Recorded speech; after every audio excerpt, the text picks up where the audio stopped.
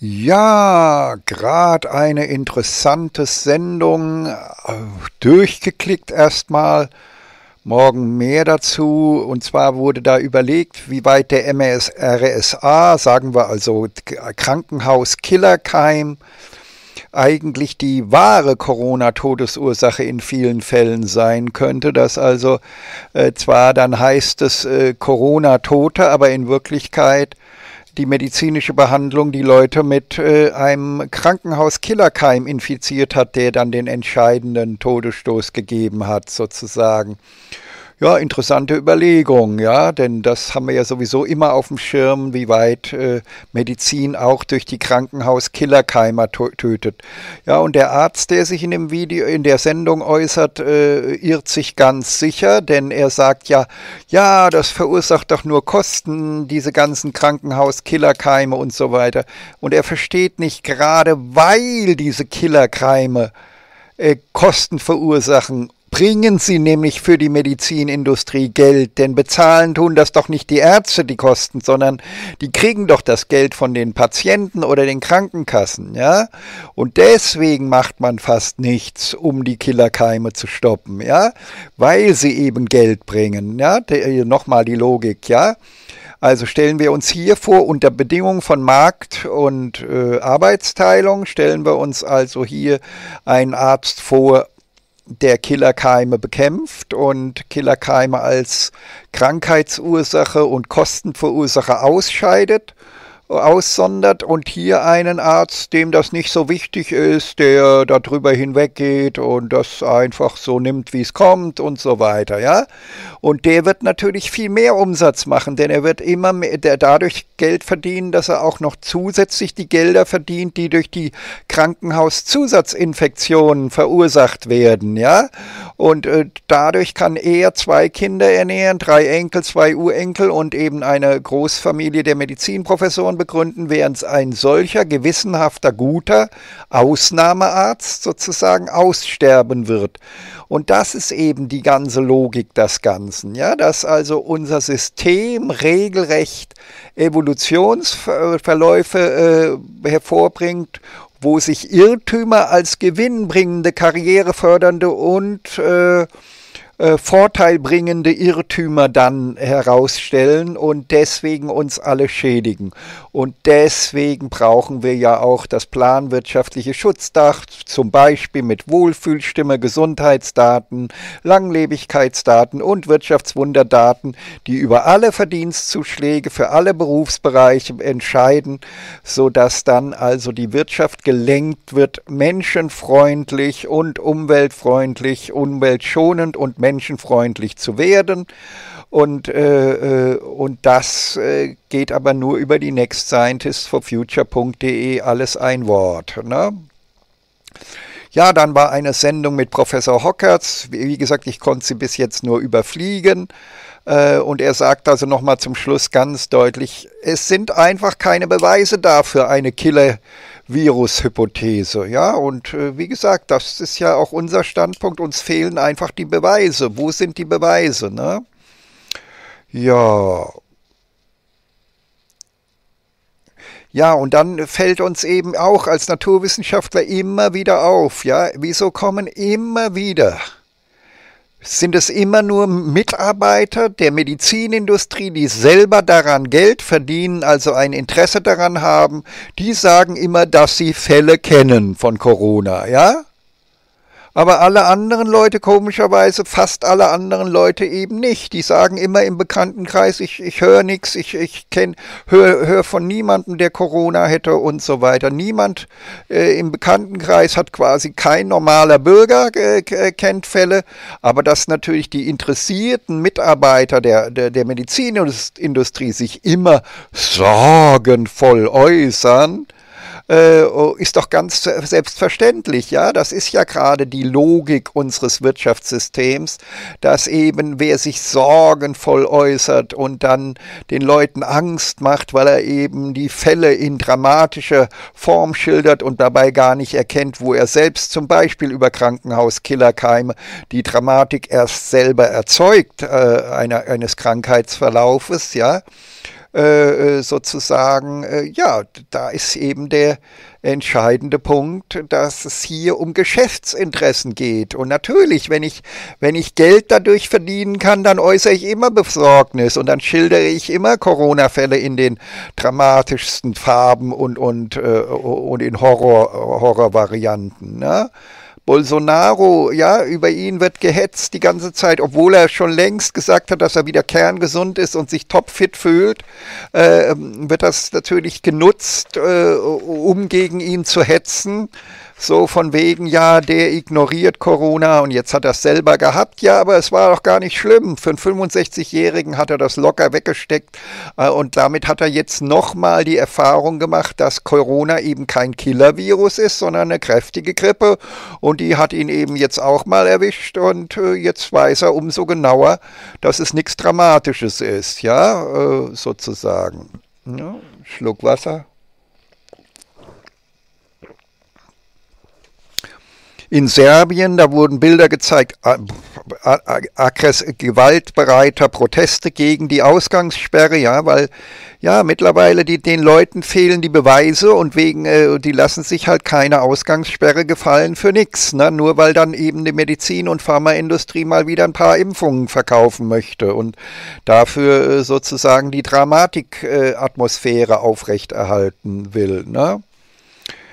Ja, und dann eine andere Sendung sagt so eine Aussage wie, ich kann es jetzt nicht genau nachprüfen, aber die Zahlen ungefähr sind so, 99,99 Prozent der Weltbevölkerung sind nicht an Corona gestorben, obwohl Corona durch die ganze Welt geistert. Ja, also das heißt, äh, stellen wir uns noch mal vor, was es Pest, Pest bedeuten würde. Pest würde bedeuten, dass ungefähr 33,33 Prozent der Bevölkerung jetzt als Tote daliegen würden. Aber wie gesagt, 99,99 Prozent der Be Weltbevölkerung sind nicht an Corona gestorben.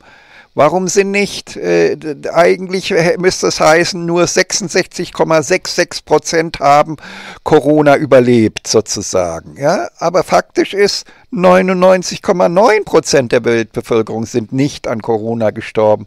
Und das sagt doch schon alles. Also ich kann doch nicht wegen so, einer, äh, so, so, einem, so einem äh, kräftigen Grippevirus nicht äh, quasi die ganze Zukunft Europas aufs Spiel setzen äh, und der gesamten Wirtschaft aufs Spiel setzen. Ne? Ja, und dann ist natürlich auch logisch, also wenn wir 2018 hatten wir 2500 Wintertote, also ist doch egal, ob sie an Grippe gestorben sind oder aus äh, welchen der 50 Win äh, Winterviren sie nun gestorben sind, aber 25.000 typische Wintertote, ja. Und äh, wenn, dann hätte man äh, dieses Jahr einen Zielschuss auf diese 25.000 tun sollen. Denn man hätte sich immer klar sein müssen, jeder Versuch künstlich unter den 25.000 Wintertoten zu bleiben, dafür wird ein zu hoher Preis gezahlt, weil, weil man dann quasi zu viele Maßnahmen macht, diese Maßnahmen zu viele Schäden anrichten. Und wir haben es, glaube ich, im Moment haben wir angebliche 8.000 Corona-Tote sozusagen sagen. Und das ist zu wenig. Ja, dafür hat man zu viel Schaden angerichtet. Man hätte immer gezielt darauf hingehen müssen, dass man ungefähr wieder die 25.000 erreicht. Und dafür hätte man eben die Maßnahmen so weitgehend zurücknehmen müssen, dass man eben in dem normalen Level liegt von 25.000 Wintertoten. Die Idee jetzt die ein verrückter Mediziner natürlich geäußert hat, äh, äh, nämlich jetzt quasi jeden, jeden Winter dafür zu sorgen, dass gar niemand stirbt, das grenzt an Wahnsinn. Ja, das ist quasi so, äh, so nach dem Motto, wir können Milliarden als Medizinindustrie verdienen, wenn wir das normale Sterben versuchen zu verhindern. Also wir müssen uns nochmal klar sein. Im Winter sterben innerhalb von 150 Tagen ganz normal in Deutschland circa bis zu 450.000 Tote ganz normal. Und davon sozusagen äh, so den Winterberg wegzunehmen und also das Ganze um jeden Winter dann 25.000 weniger sterben zu lassen, ist ein wahnsinniger Versuch, weil das riesige volkswirtschaftliche Schäden und Kosten verursachen würde. Und zwar der und die einzigen, die davon profitieren würden, ist wer die Medizin und Pharmaindustrie, die würden dann gesellschaftsbeherrschend und würden quasi äh, äh die, äh, die einzige Industrie, die am Ende noch übrig bleibt, wenn alle anderen Industrien zerstört sind. Ja? Am Ende haben wir nur noch Medizin- und Pharmaindustrie und sind alle pleite und sind alle äh, total verarmt, weil wir nur noch leben, um Medizin zu bezahlen. Ja? Das ist äh, und das ist mir, mir klar, dass ein, ein, ein, ein Mediziner solche feuchten Träume haben kann, ja, sozusagen von solchen äh, Dingen zu träumen, ja, aber wir müssen gucken, dass wir jeden Winter schön brav unsere 25.000 Wintertote haben und äh, nicht künstliche Maßnahmen tun, um, um äh, äh, sozusagen das normale Sterben zu verhindern. Und äh, wir sollten lieber uns damit beschäftigen, die 400.000 jährlichen ernährungsbedingten Toten äh, zu reduzieren. Da haben wir wirklich was davon, weil die Leute dann, anstatt mit sowieso mit 80 zu sterben, die dann wirklich 127 werden können. Und wenn die dann auch bis ins hohe Alter noch berufstätig sind, weil es Spaß macht, äh, so wie in, in, in, in auf Okinawa, die 110-Jährigen noch, noch noch äh, vor wenigen Jahrzehnten noch, noch alle gearbeitet haben und am Arbeitsleben teilgenommen haben, ja, dann ist das auch kein Rentenproblem sozusagen. Entsteht da auch kein Rentenproblem. Ne? Ja, also, dann äh, ganz generell muss man sagen zum Corona-Ausschuss, ja, Übrigens wieder im Hinweis, es gibt zwei Corona-Ausschüsse, ACU 2020, also der Außerparlamentarische Corona-Ausschuss mit Dr. Bodo Schiffmann und so weiter und äh, der äh, Corona-Ausschuss. Ja, das sind zwei verschiedene. Bitte beide googeln. Ja, ja und dabei muss man noch mal ganz klar sagen. Also generell ist es so. Ärzte könnten es sich doch alle ganz leicht machen. Wir nehmen das Geschäft mit Corona einfach mit, impfen die Leute auf Teufel komm raus, kriegen dafür unser Geld und äh, machen Testen auf Teufel komm raus, kriegen dafür unser Geld, machen teure Behandlungen, kriegen dafür unser Geld, machen die, machen die ganzen, äh, wie heißen sie, die ganzen äh, äh, äh, Intensivbetten voll, das gibt Schweinegeld und so weiter, dafür kriegen wir Boni dann im Krankenhaus und so weiter. Wir könnten das doch alles mitmachen. Aber eben zum Glück gibt es eben Ärzte, die sagen, nein, Profit ist nicht alles. Wir wissen, dass es ein Problem ist, dass unsere Medizin, unser Gesundheitssystem Fehlanreize hat, die uns alle dahin lenken, alles zu machen, was Profit bringt. Aber wir sind eben auch, fühlen uns auch verpflichtet der Wahrheit und unserem hippokratischen Eid und unserem Nil Nocere, also nicht Schaden äh, und so weiter, keinen Schaden zufügen und so weiter. Und deswegen sagen wir, wir, da stimmt was nicht. Es gibt keinen klaren Beweis für, für, äh, die, für einen Killer-Virus sozusagen. Ja? Und äh, das heißt, und das sind diese gewissenhaften, guten Ärzte, dass die Masse der Ärzte natürlich mitläuft und das Geschäft einfach nur mitnimmt sozusagen, ist ganz selbstverständlich. Ja, aber und, und, und, und seit 40 Jahren verfolgen wir eine öffentlich-rechtliche Fernsehsendung nach der anderen, die ganz klar sagt, da stimmt was nicht im Gesundheitssystem. Die, diese Fehlanreize der finanziellen Art lenken die äh, Medizinindustrie daran, zu viel zu operieren, zu viel zu äh, diagnostizieren, zu viel zu behandeln, zu viel Medikamente zu verschreiben und so weiter. Und das ist nicht in Ordnung. Und seien wir doch froh, dass wir überhaupt so gute Ärzte haben, die sagen, ja hoppla, wir sollten nicht alles machen, was Geld bringt. Ne? Schluck Wasser. Und diese Ausnahmeärzte wie Dr. Schiffmann, Hockertz, Professor Hockertz und wie sie alle heißen, ja, äh, Professor Bhakti, seien wir doch froh, dass wir äh, Professoren haben, die an die Patienten denken und nicht nur ans Geld denken äh, und so weiter. Ja, und seien wir doch froh, dass wir auch bei den Next Scientists for Future solche guten Ärzte haben, die, die eben sagen, na, Geld ist nicht alles, sondern äh, wir, wir sind auch der Wahrheit und der Menschendienlichkeit auch verpflichtet und müssen die über den Profit stellen, auch wenn der Profit noch so sehr lockt. Ne? Ja.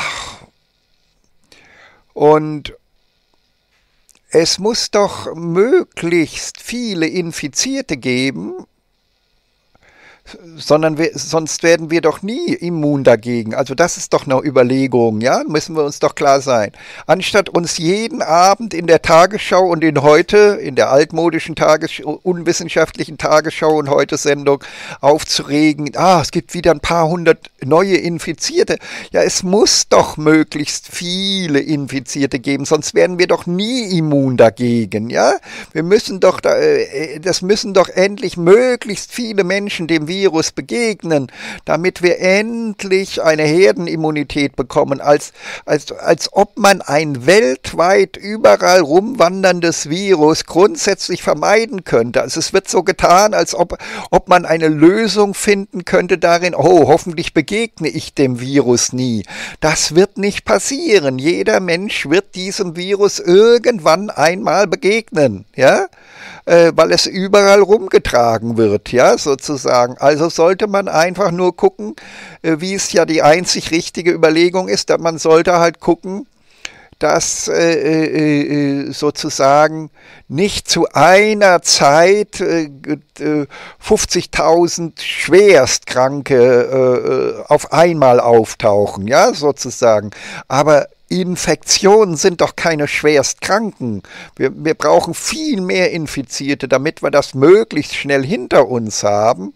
Aber gut, dann könnte man ja die Impfung nicht mehr verkaufen. Ne? Also, ja, äh, wie gesagt, also ohne böse Absichten zu unterstellen, aber natürlich ist, ist, äh, wird man natürlich in der Pharmaindustrie schon irgendwo auch hoffen darauf, dass man seinen großen Verkaufserfolg noch feiern wird können. Ne?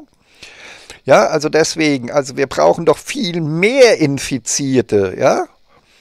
Also was man vermeiden kann, zum Beispiel, man kann relativ aktiv sowas wie die Tollwut kann man vermeiden, ja. Aber doch nicht ein Massenvirus wie Corona, das über die ganze Welt geht. Also ich denke, es wird niemand schaffen, äh, trotz all des Theaters, das angestellt wird, dass man das Virus generell vermeidet, ja. Ähm, und äh, so diese Idee, jetzt noch, äh, noch viele Monate das Virus zu vermeiden und dann eine angeblich harmlose Impfung zu bekommen, wodurch man dann geschützt sei gegen das Virus. Naja gut, äh, das ist halt der Traum, ja, aber wie weit dieser Traum irgendeine Realität hat, also und äh, vor allem, was ist dann, wenn der nächste Grippevirus ein Tick schwerer ist als der Coronavirus? Dann stirbt doch der Mensch dann eben dann an, an diesem Virus, ja? Also, und, und diese Idee, dass, dass das Corona ein aus, ausnahmeaggressiver Virus sei äh, oder aggressives Virus sei, das ist ja eben, ja, warum sind denn eben 99,99 äh, 99 Prozent der Weltbevölkerung bisher nicht an Corona gestorben? Warum sind denn nicht mal wenigstens 5 Prozent, 10 Prozent, 20 Prozent an Corona gestorben? Sind aber nur äh, 99,99 Prozent sind eben nicht an Corona gestorben. Und das äh, zeigt doch, äh, dass also äh, sozusagen, dass Viren in der Gefährlichkeit von Corona massenhaft auftauchen und jederzeit wieder auftauchen können. Und wenn jemand jetzt geimpft wäre gegen Corona, dann wäre ein Jahr später gegen das nächste aggressivere Grippevirus wieder nicht geschützt ähm, äh, und würde dann halt daran sterben. Also was soll das Theater? Ja, also alles überzogen und unrealistisch. Ne? Ja, und äh, wie gesagt, äh, Lauterbach äh, ist irgendwie offensichtlich gegen Fußballzuschauer oder irgend sowas, wenn ich es richtig verstanden habe. Ja, ganz Weißrussland müsste jetzt doch tot sein, weil die haben Fußball mit vielen Zuschauern gehabt. Da müssten sich, ja, müssten sich ja Massenleute gegenseitig infiziert haben und diese müssten dann die Infektion zu ihren Familien gebracht haben. Und ganz Weißrussland müsste doch tot sein. Aber komischerweise sind 99,99 Prozent der Weltbevölkerung nicht tot, obwohl sie Fußballzuschauer hatten, ne? in Weißrussland zum Beispiel. Ja, ja dann dann äh, sozusagen zur Thema die Fridays for Future schreien ja oft von äh, Climate Justice, ja. Äh, äh, warum ist das so unrealistisch? Was ist daran unrealistisch, dass man weltweite Klimagerechtigkeit will? Wissen Sie, was gerecht wäre? Wissen Sie, was wirklich gerecht wäre? Gerecht wäre, wenn alle die ursprünglich aus Europa kamen, sich aus Nordamerika und Südamerika wieder zurückziehen würden. Das würde bedeuten, dass wir zwar, äh, was weiß ich, äh, 100, 160 Millionen äh, Amerika Nordamerikaner, äh, ursprünglich europäischen Ursprungs und Kanadier, dass die alle wieder zurück nach Europa wandern würden. Das heißt, wir würden in Europa eine Überbevölkerung von 160 Millionen ehemaligen Nordamerikanern bekommen, dann müssten wir das äh, Nordamerika an die nordamerikanischen Indianer äh, zurückgeben und äh, Südamerika an die südamerikanischen Indianer, die ganzen Brasilianer und so weiter, die müssten also alle nach, nach, nach Spanien, nach äh, Portugal und so weiter zurückwandern und wir müssten denen äh, diese Länder zurecht, äh, zurückgeben. Und dann müssten wir alle Nord, äh, alle Schwarzafrikaner, die Millionen Schwarzafrikaner müssten wir alle nach Afrika transportieren, wodurch die noch eine größere Überbevölkerung dort kriegen würden, denn die gehören ja da auch nicht an die stammen ja alle aus Afrika, ja. Und äh, dann müssten wir, wahrscheinlich müssten wir dann äh, noch gucken, was war denn davor noch an Ungerechtigkeiten. Dann müssten wir die ganze Weltbevölkerung hin und her schieben und verschieben und so weiter. Und der Witz ist, das wäre dann vielleicht gerecht.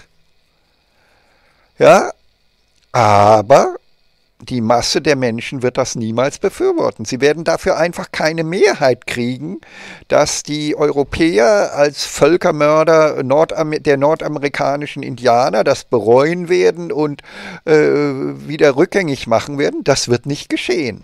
Und genauso wenig ist, wenn der Professor Flassbeck in einem, äh, einer Sendung quasi so fordert, äh, äh, so dass wir mit Afrika so umgehen sollten, dass wir auch Afrika nicht nur ausschlachten. Ja, aber äh, das, äh, das wird niemand tun, denn wir können heilfroh sein, dass im Moment die Afrikaner nicht abgeschlachtet werden, sondern nur durch die europäische Wirtschaft ausgeschlachtet werden, sozusagen.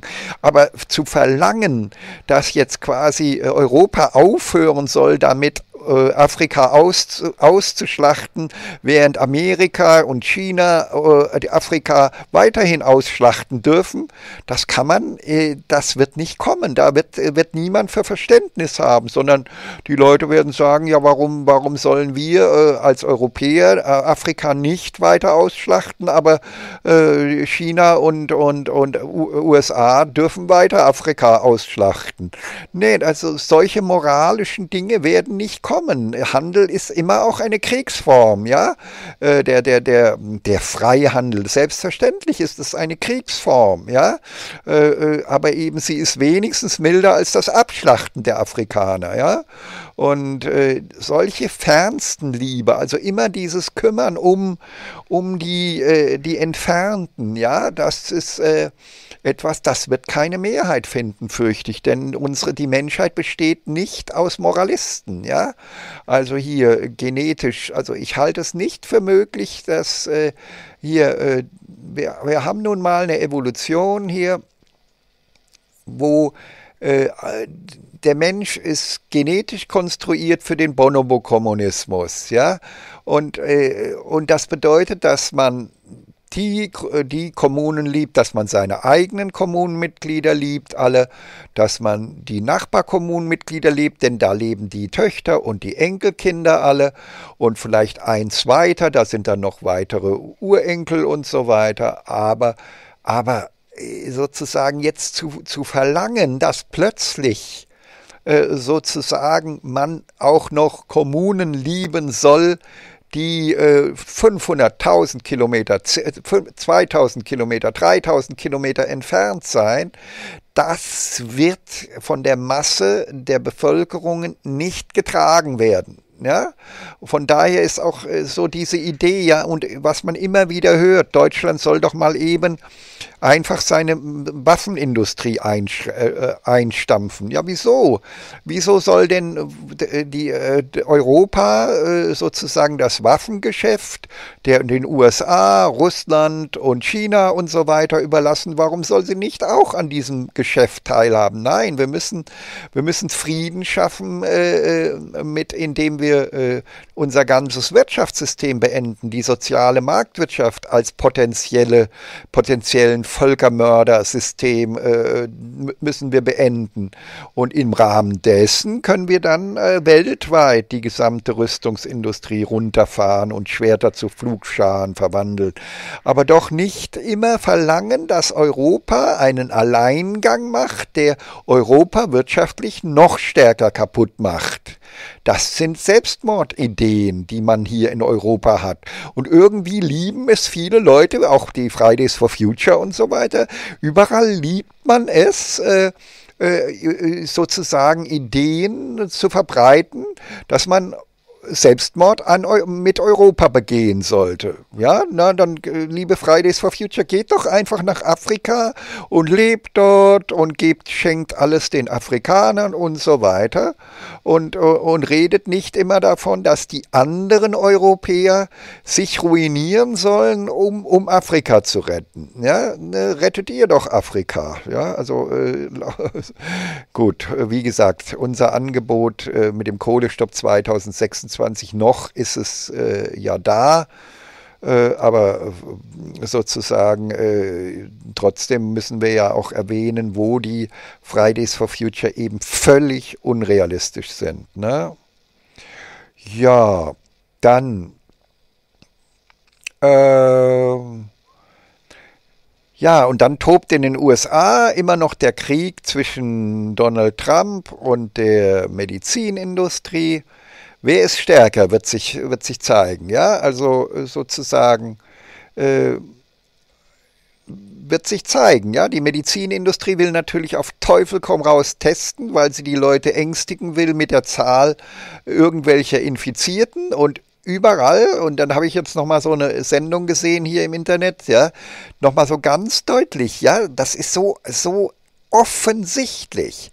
Da wird von irgendwelchen Infizierten genannt und niemals wird genannt, wie viel, wie viel Tests man denn durchgeführt hat. Ja, wenn ich, wenn ich 50 Millionen Tests gestern durchgeführt habe in Deutschland, dann ist doch klar, dass wenn ich auch nur ein Prozent falsch positive Testergebnisse habe, von 50 Millionen hätte ich dann äh, sozusagen 10 Prozent wären 5 Millionen falsch positive Tests und ein Prozent wäre 500.000 Infizierte, könnte ich dann ganz stolz anführen. Also ich, äh, also ohne die Zahl der te durchgeführten Tests zu nennen, ist doch alle Nennung von Infizierten immer extremst unseriös und antiwissenschaftlich. Ja? Und, und das, deswegen kann ich nur sagen, als äh, Mitglied der Next Scientists for Future kann ich nur sagen, da sind keine überzeugenden Daten. Überall wird unseriös mit Daten umgegangen und irgendwo fehlt immer noch der naturwissenschaftliche Beweis dafür, dass es sich äh, um ein viel stärkeres Virus handeln, handelt als ein kräftiges Grippevirus. Dafür fehlt immer noch jeglicher Beweis und damit erscheinen die Maßnahmen einfach nur unsinnig. Ja, ja und wie immer, Schlusswort, hier die Liste der, äh, der Träger von Irrtümern, ja, aber nicht vergessen, diese ganzen sind hier nur deswegen aufgelistet, weil ihre Menge an Irrtümern nicht so groß ist wie die Menge anderer Irrtumsträger. Also wer hier nicht aufgelistet ist, der ist hier deswegen nicht aufgelistet, weil es sich gar nicht lohnt, über ihn zu sprechen, weil die Menge an Irrtümern so gewaltig ist, dass es sich gar nicht lohnt, darüber zu sprechen. Ja, wie gesagt, heute habe ich noch äh, äh eine andere große Organisation von Weltverbesserungsansätzen nochmal eingeladen zur Talkshow am 16.07. um 11 Uhr mit Gradido äh, sozusagen. Ja, denn äh, wie gesagt, wir müssen doch einfach über jeden Weltverbesserungsansatz verhandeln und versuchen, äh, eben, dass man sagt, dass man gegenseitig sagt, ja, welche Gegenargumente sprechen gegen welche technische Lösung. Und dann werden wir doch irgendwann ein klares Ergebnis kriegen, wo, wo sich viele darauf einigen können, sozusagen. Ja? Ja, also das war es jetzt für die jetzige wissenschaftliche Tagesschau heute. Tschüssi, bis bald.